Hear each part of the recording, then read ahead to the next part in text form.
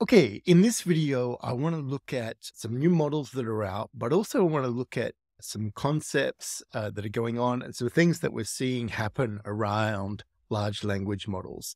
So it seems nowadays everyone is releasing a new fine tuned version of Model X, Model Y, Model Z, especially the models that are quite good. People are basically realizing that, okay, if you train this on more data, if you change the data, you can get some good results out of these things. So, the models I'm going to look at today are basically a group of models that are based on the Wizard LM. So, just to recap, uh, Wizard LM was a model that came out about a month ago.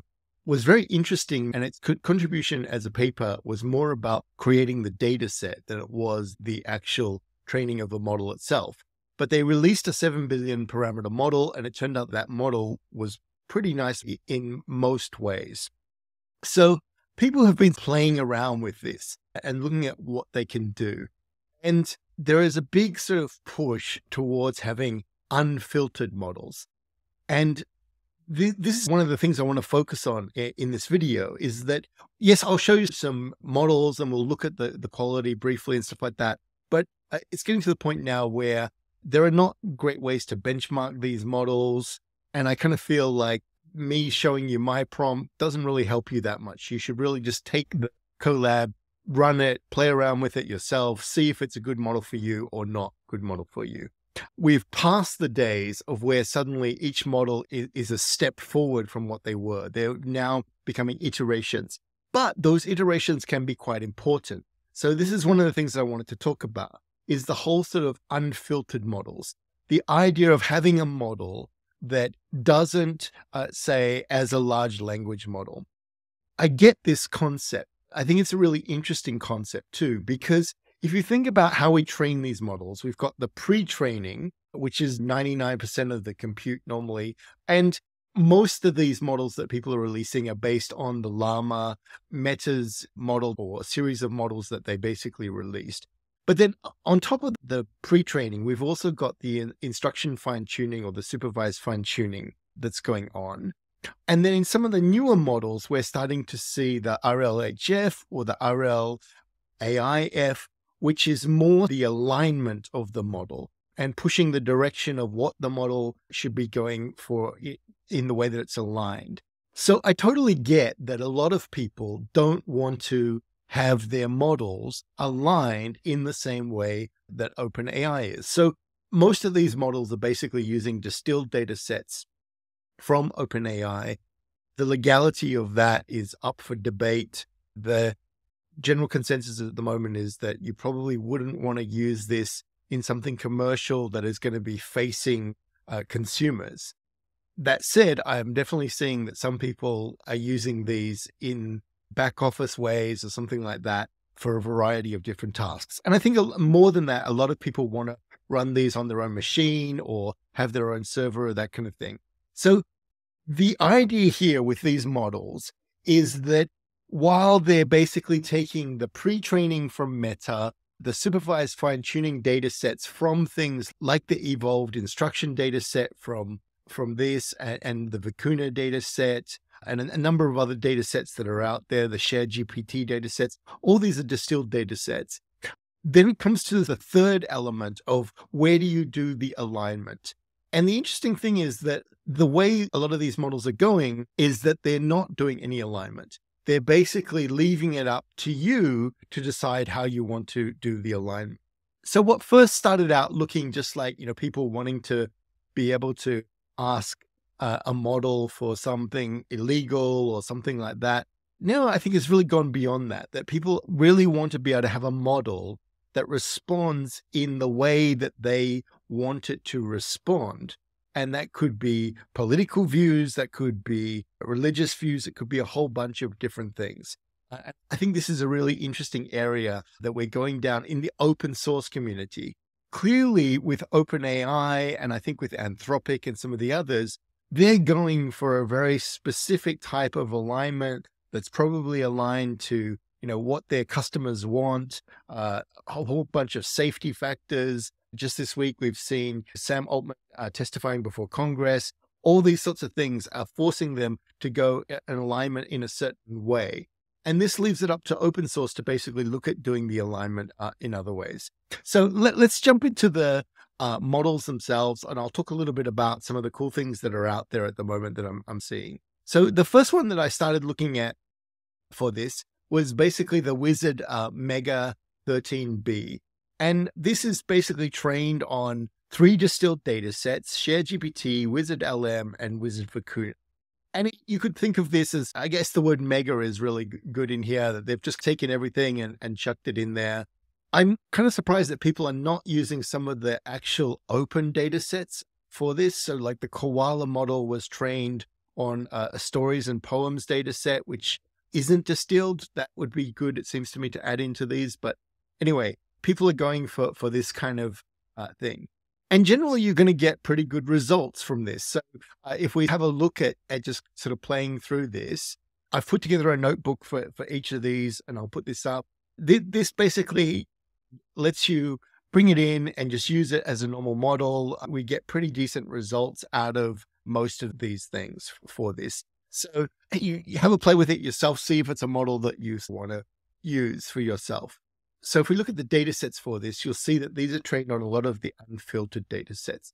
And actually, that's what led me to some of the other models that I'm going to look at. That a lot of these models have been created by Eric Hartford. And he's put a lot of effort into going through and taking out the sort of alignment idea questions of where a model won't answer something or will answer something in a certain way because it's an AI language model. You've all seen this before where you ask it something, and often it's something very benign, but it will be basically answer in that, oh, as an AI language model, I can XYZ kind of thing. Definitely, we see this when we look at questions like I've put in here before as an AI, do you like The Simpsons? These models tend to respond much more in actually giving you an answer here of where we've got, you know, yes, I enjoy watching The Simpsons and then giving us more of the answer here. Okay, so my issue my issue with this model would be that if we look at the actual training, it seems to have been done in a slightly unusual way in that they've basically had multiple types of how to do the prompting for the model. So we see this sort of instruction assistant way, which is uh, quite common for one, and the, another sort of being the user assistant. And I think it's not great having both of these. You're kind of uh, forcing the model to learn things two ways. Now, I think they've tried to make it like it's an instruction model and a chat model. I'm not sure what the the thinking behind that is, but it seems like that's an issue. And then the other small issue is that just how they're dealing with the EOS token. So the end of sentence token here is still showing up there.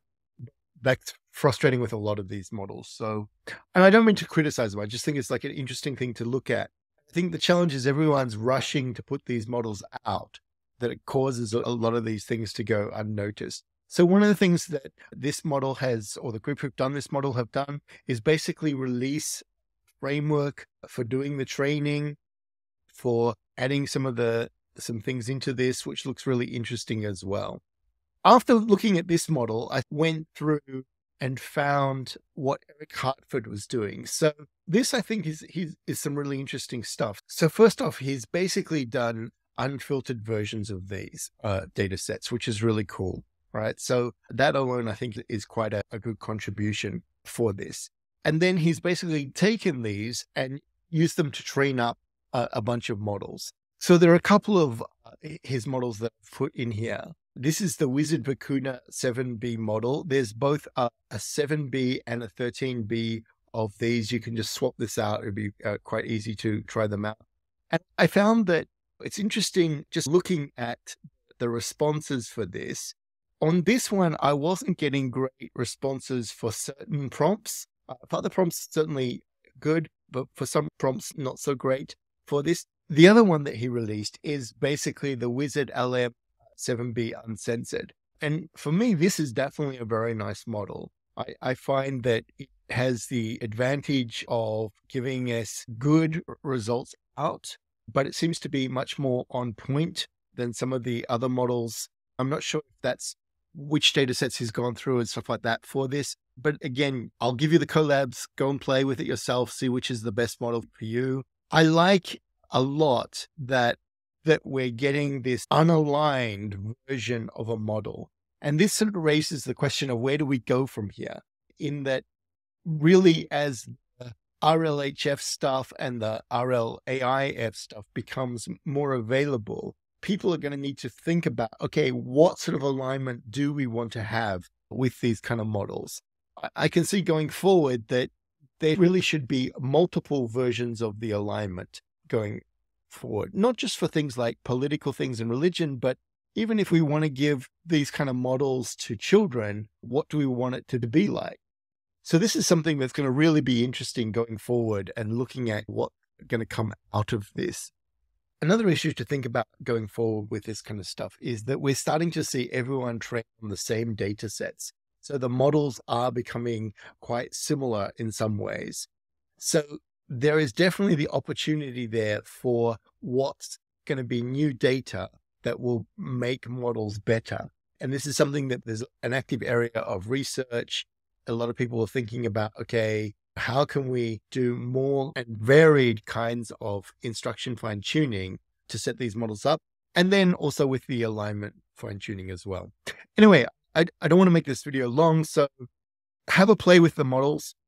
There's some really good work that people have done in doing this. I think it's worth checking them out. If you are looking for a model, remember these really are not models that you can use commercially, but they're models that you can certainly play around with on your uh, computer at home.